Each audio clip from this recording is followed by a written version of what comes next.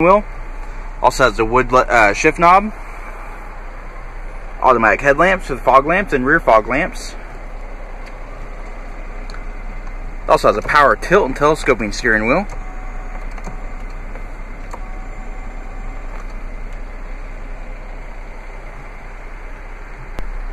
Alright, so we're going to pan through the interior, just show a little bit more detail. Satin silver finish on the steering wheel, as well as audio controls and Bluetooth controls.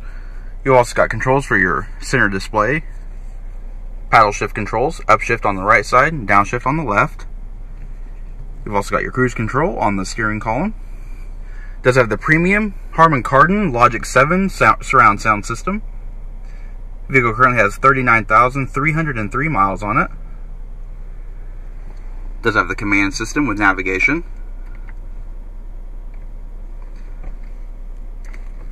Also has a reverse camera.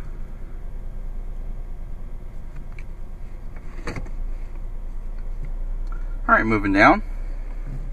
You have your control stack for the command, as well as your volume control and tune and seek.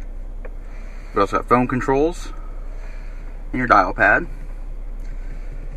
Moving below, you have heated front seats, power rear sunshade, dual zone automatic climate control.